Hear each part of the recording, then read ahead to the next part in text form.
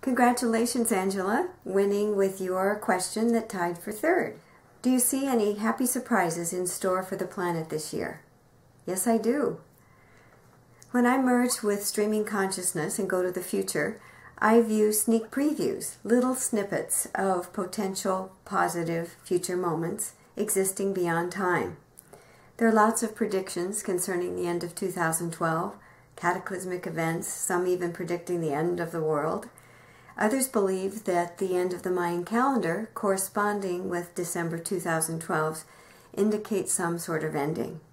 What if the Mayans simply ran out of stone? But here's what I do know about what's ahead, and it's pretty exciting stuff. I believe that in this lifetime, many of us are going to be knowing, sensing, and seeing things that we could never have dreamed, not in our wildest imagination. This is part of the evolution of our species.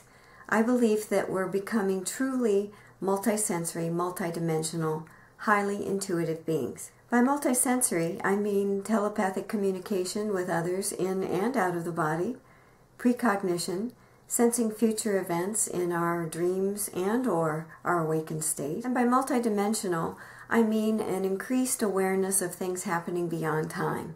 Perhaps more deja vu moments, the feeling of revisiting a moment, event, or place, or a growing sense and evidence that we're not alone in the universe.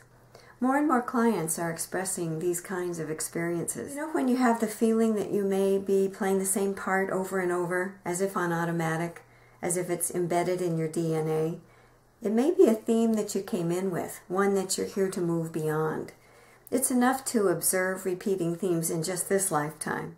And when you notice repeating themes, sit with that realization for a moment. Just observing it is going to help you program in new responses to old triggers. What's so fascinating about this shift in consciousness is that 25 years ago, when I started doing this work, people were interested in merely gaining access to these kinds of gifts, all the while thinking they were so weird.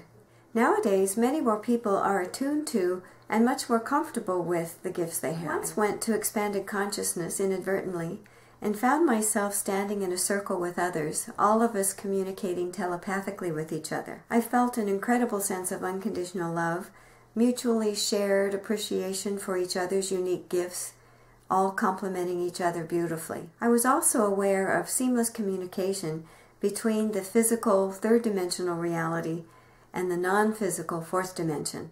There was also an awareness of receiving assistance from other beings who, by their very presence, elevated our own frequency of light and goodwill. I believe that this vision of the future is near, and I'm excited to witness all that is becoming through this work. Stay open, listen to your heart, and hold on to your etheric hats. It's going to be an awesome ride. Look in the mirror and see someone you truly love who's growing beyond any lifetime in this life space. Much love.